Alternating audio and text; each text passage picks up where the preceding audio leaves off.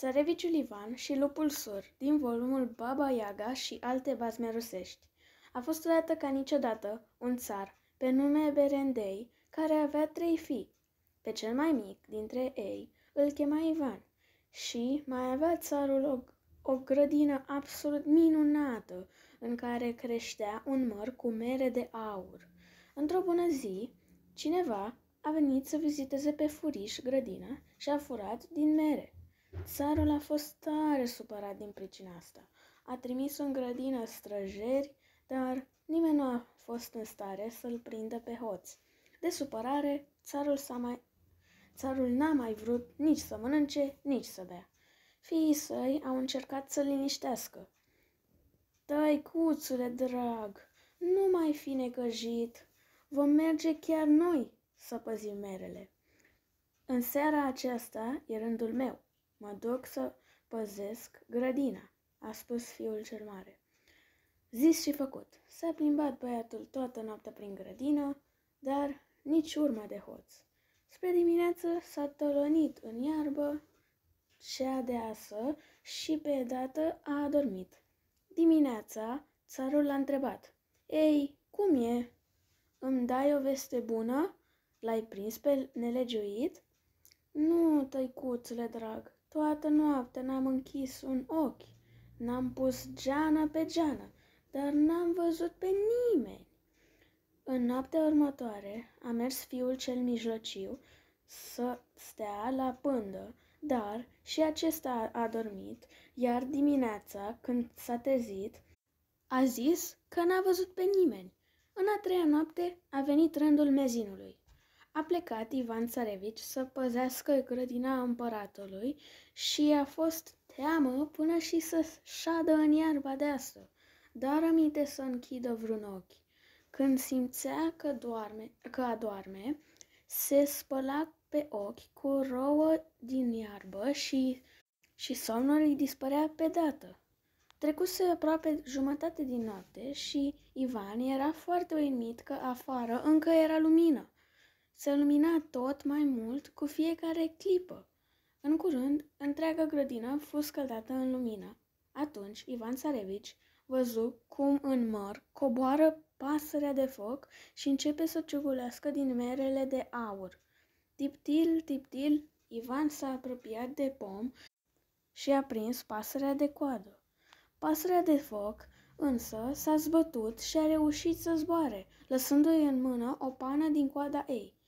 Dimineața țareviciul s-a însfățișat înaintea tatălui său. Ei, dragul meu Ivan, ce veste îmi dai? L-ai văzut pe hoț, orba? Tăticule, n-am reușit eu să-l prind pe hoț, dar am văzut cine ne strică grădina. Iată, ți-am adus o dovadă. Hoțul nostru, tăicuțule, e o pasăre de foc. Țarul a luat pana și din clipa aceea a început iar să mănânce și să bea și a luat cu totul de, și-a uitat cu totul de supărare. Într-o bună zi își a, și-a amintit de pasărea de foc și a chemat pe fiii săi în fața lui și le-a spus Dragii mei copii, oare ce-ar fi dacă ați pune șaua pe cei mai buni cai, ați pleca în lumea largă, prin locuri neumblate și mi-ați găsi acea pasăre de foc. Fecerii s-au închinat în fața părintelui lor, au pus șeile pe cai cei mai buni și au plecat în lumea largă. Fiul cel mai mare a pornit într-o parte, fiul mijlociu în altă parte, iar Ivan Țarevici în a treia parte. Și a mers Ivan ce a mers, cât timp, cine să mai știe. Afară era o frumoasă zi de vară. La un moment dat, a obosit de atât a mers, a coborât de pe cal, i-a pus acestuia piedică la picioare să nu poată fugi, iar el s-a trântit în iarba și a dormit. Când s-a trezit din somn, nu știa cât timp dormise, însă a văzut că îi dispăruse calul. Ivan a pornit să-l caute și a mers el și a mers și în cele din urmă și-a găsit calul, numai oase strălucitoare. Rău s-a mai întristat atunci țareviciul și a gândit în sinea sa unde să merg eu atâta cale fără cal. Ce-i de făcut? Dacă, dacă am pornit la drum, trebuie să merg mai departe. N-am încotro. Și și-a continuat drumul pe jos. A mers el ce a mers până a obosit rău de tot. Atunci s-a așezat în iarba moale, a bătut tare. Deodată, de nicăieri, lângă el a apărut un lup sur. Ce-i cu tine, Ivan Țarevici? De ce stai așa îngândurat cu capul plecat? Cum să nu fiu supărat, lupule sur? Am rămas fără calul meu cel credincios. Calul? Eu ți l-am mâncat, Ivan Țarevici. Și tare mi milă îmi e de tine. Dar povestește-mi, de ce ai plecat la un drum așa de lung? Încotro îți este calea? M-a trimis tăicuța în lumea largă să pribe, pribegesc pasărea de foc, să găsesc. Fu, fu, cu calul ăla n-ai fi ajuns tu la pasărea de foc nici peste trei ani. Numai eu știu unde o poți găsi. Așa a fost să fie. Dacă ți-am mâncat calul, te voi sluji cu credință de acum înainte. Urcă-te în spatele meu și ține-te strâns de coama mea. A încălecat săreviciul pe lupul cenușiu, care a pornit ca vântul și ca gândul. Peste pădurile întunecate zbura, iar câmpurile nesfârșite cu coada le mătura. După un timp, s-a apropiat de o cetate cu ziduri foarte înalte. Lupul sur a zis, Ascultă-mă, Ivan Țarevici, și ia aminte. Sar peste zid, fără teamă, la ceasul ăsta, toți străjerii de acolo dorm duși. Sus, în jur, vei vedea o fereastră. Pe pervazul ei se află o colivie din aur. Pasărea de foc. Tu să prinzi minunea înaripată, să o bagi în sân deodată, dar în nici un caz să nu te atingi de colivie. Ivan a sărit peste zidul înalt, a văzut temenița, a văzut și colivia de aur din fereastră, apoi a zărit și pasărea de foc. Țareviciul a luat pasărea și a băgat-o în sân, însă ochii au rămas proptiți de colivia de aur.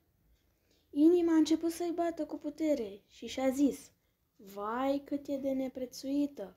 Cum să nu iau eu frumusețea asta? Zis și făcut. Uitând de tot ce-i spusese lupul, când a, zi, a întins colivia, în toată cetatea s-a iscat o zarvă de neînchipuit. Trompetele au început să sune, tobele au început să bubuie, străjerii, au trezi, străjerii s-au trezit L-au înhățat pe Ivan Țarevici pe dată și regelui Afron l-au înfățișat. Regele Afron l-a întrebat furios. Cine ești? De unde vii? Sunt Ivan, fiul împăratului Berene, Berendei. Rușine, fiul unui împărat să fie hoț. Dar pasărea voastră, cum era atunci când venea și grădina noastră o prăda? ai fi putut să vii la mine, să mă rog să-ți dau, să ți-o dau, iar eu ți-aș fi dat-o, din respect față de tatăl tău, țarul Berendei. Așa o să duc despre voi vorba rea în toate orașele mele, dar treacă de la mine, dacă mă vei sluji, atunci te voi ierta. Uite, undeva departe, în țara legiului Cusman, se află un cal cu coamă aurie. Să mi-l aduci și atunci îți voi da pasărea de foc cu colivie, cu tot. Supărat, nevoie mare, Ivan s-a întors la lupul sur. Acesta l-a dujenit. Ți-am spus doar să nu atingi colivia. De ce nu m-ai ascultat? Iartă-mă, iartă-mă, lupule sur. Da, da, Iartă-mă, bine, fiule, urcă pe mine, așa se întâmplă dacă te legi la cap fără să te, îndo- fără să te doară. Și lupul sur a pornit din nou în goană mare cu Ivan în spate. După un timp, iată că au ajuns la cetatea în care se afla calul cu coama de aur. Sar zidul, Ivan Țarevici, străjerii dorm acum. Tu să mergi în grajd, să iei calul, dar ai grijă să nu te atingi de căspăt, căpăstru. Țareviciul a făcut întocmai. A sărit zidul și a intrat în cetate. Toate străjile dormeau. S-a îndreptat spre grajd. A prins calul și ochii au rămas ațintiți pe căpăstru, care era din aur, bătut cu pietre prețioase. Cal, fără căpăstru, nu se poate. Ivan a pus mâna pe căpăstru și atunci s-a pornit zarva în toată cetatea. Au început să sune goarnele, să bată tobele. Străjerii s-au trezit, l-au înhățat pe țarevici și l-au adus în fața regelui Cusman. Cine ești? De unde vii? Eu sunt Ivan Țarevici. Ce nebunie ți-a luat mințile de-ai vrut să-mi fur calul? Niciun om de rând nu ar fi îndrăznit una ca asta. Ei bine, Ivan Țarevici, te iert numai dacă mă vei sluji. Regele Dalman are o fată, pe Elena cea frumoasă. Adu-mi-o și-ți dau calul cu căpăstrul lui de aur. Mai abătut decât prima dată, Ivan s-a întors la lup. Și dacă nu ți-aș fi spus, Ivan Țarevici, să nu atingi căpăstrul, nu mi-ai ascultat porunca nici de data asta. Iartă-mă, iartă-mă, lupule sor. Da, bine, bine, iartă-mă. Hai, aruncă în spinarea mea. Și-a pornit iar lupul sur, alergând peste mări și țări, ca vântul și ca gândul. Într-un târziu am ajuns și în țara lui Dalmat. În cetate, într-o grădină minunată, Elna cea frumoasă se plimba, înconjurată de doici și dat, dădace. Lupul sur i-a spus stareviciului, De data asta nu te mai las pe tine, voi merge chiar eu după. Du-te înapoi, te voi ajunge din urmă. Țareviciul făcu cale întoarsă, iar lupul sur ză, ză, sări zidul cetății și merse direct în grădină. Se piti după un tufiș și așteptă. Elena cea frumoasă ieși la plimbare cu doicile și dăzacele. La un moment dat se, întâmpl- se îndepărtă puțin de ele. Atât aștepta lupul. Imediat o înșfăcă în spinare, o aruncă și la sănătoasa o luă. Ivan Țărevici mergea încet pe drum. Când a fost ajuns de, de lupul sor, ce o purta în spate pe Elena cea frumoasă. Mult s-a mai bucurat țareviciul când i-a văzut, însă lupul sor i-a spus, urcă-te în spatele meu, țarevicule, și să fugim de aici cât ne țin picioarele. Cu cei doi în spinare, lupul sur zbura ca vântul și ca gândul, trecând peste mări și păduri întunecate, măturând cu coada câmpiile mănoase. Într-un târziu am ajuns în țara lui Cusman. Atunci, lupul sur l-a întrebat pe Țarevici. Ei, Ivan Țarevici, de ce ai tăcut așa deodată și ești așa de abătut? Păi, cum să nu fiu necăjit, lupule sur? Cum să mă despart eu de o asemenea frumusețe de fată? Cum să o dau eu pe Elena cea frumoasă în schimbul unui cal? Lupul sur i-a răspuns. Nu voi permite să te desparți de minunea asta de fată. Știi cum o să facem? O ascundem în pădure. Eu mă transform în Elena cea frumoasă, iar tu mă conduci la rege. Zis și făcut. Au ascuns-o pe Elena într-o colibă din pădure. Lupul sur s-a dat de trei ori peste cap și s-a transformat în Elena cea frumoasă. Ivan a condus-o la regele Cusman, care mult s-a mai bucurat văzând-o și a spus țareviciului. Îți mulțumesc, Ivan Țarevici, pentru că mi-ai adus mireasa. Poftim, primește drept răsplată calul cu căpăstrul de aur cu tot. Țareviciul a încălecat pe cal și a plecat spre coliba din pădure după adevărata Elena. A luat-o, a așezat-o pe cal, în spatele lui, și și-au continuat drumul. În acest timp, la cortea lui cu, regelui Cusman, tot poporul se pregătea de nuntă.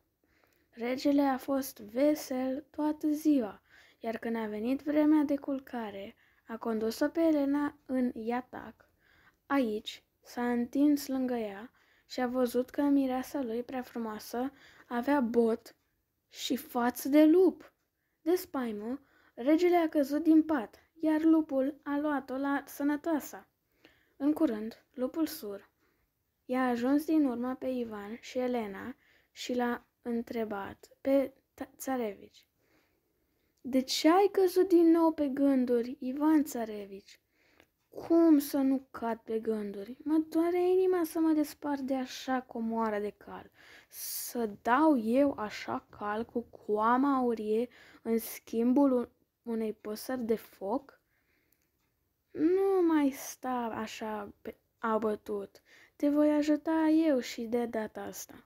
Nu peste mult timp au ajuns sei în țara regelui Afron și lupul i-a spus lui Ivan, ia calul și pe Elena și ascunde-i, iar eu mă prefac în cal cu coamă aurie și să mă duci regelui Afron.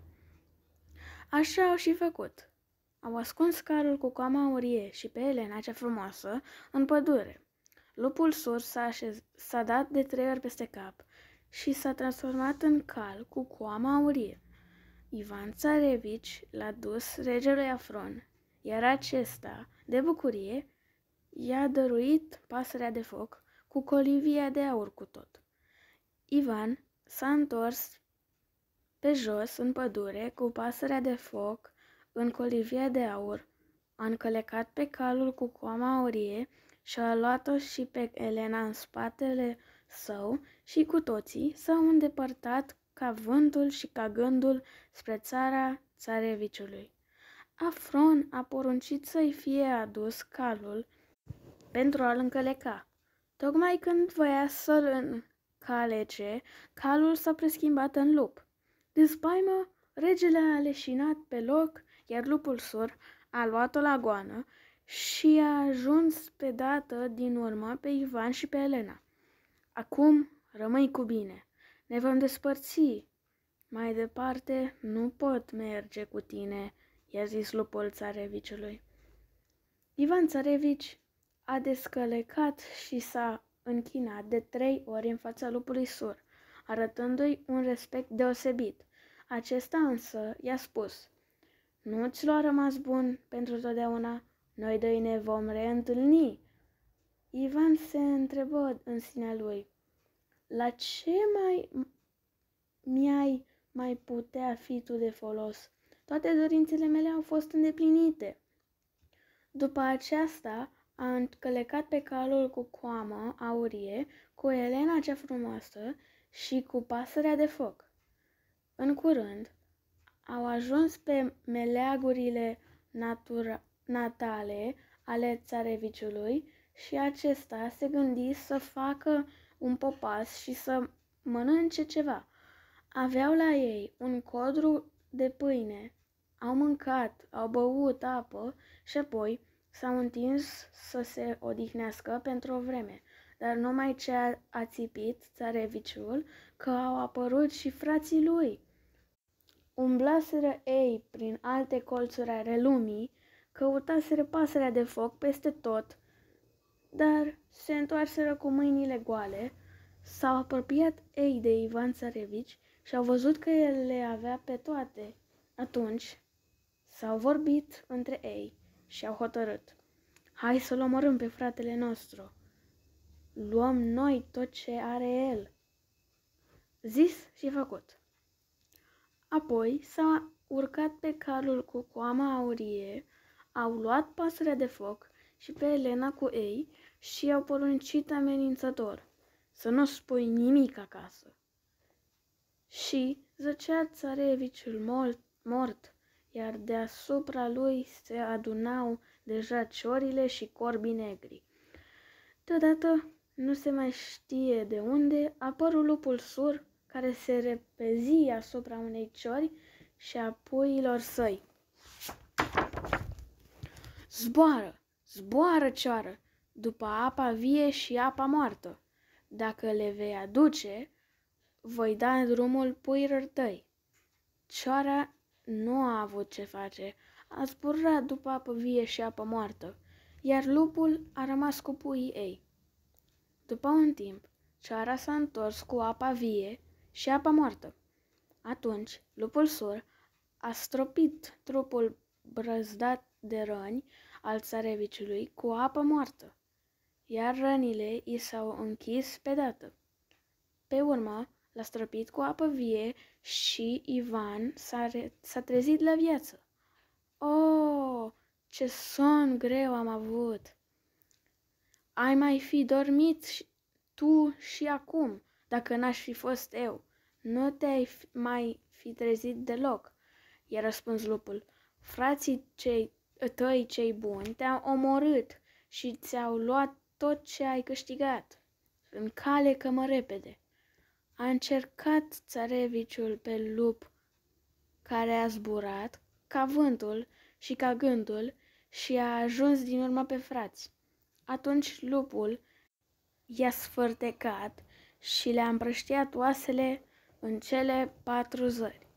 Ivan Țarevici s-a închinat din nou în fața lupului și s-au despărțit pentru totdeauna. Acasă, Țareviciul s-a întors pe calul cu coama aurie, i-a dăruit tatălui său pasărea de foc, iar el a luat-o de nevastă pe Elena cea frumoasă. Tare s-a mai bucurat țarul Berendei și a început să-l doscorească pe fiul său despre întâmplările prin care a trecut. Atunci țareviciul i-a povestit cum a fost ajutat de lupul sur, cum l-a omorât, cum i-a omorât pe frații săi pe câmp, cum i-a redat lupului viață și cum, în final, i-a sfârtecat pe frații săi.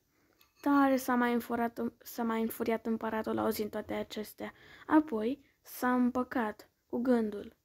Ivan Țarevici s-a însurat cu Elena cea frumoasă și au trăit fericiți până la adânci bătrâneți. Sfârșit! Abia aștepți următoarea poveste? Abonează-te la canalul de YouTube Totul este posibil pentru a primi o notificare când publicăm noile episoade. Noapte bună, copii!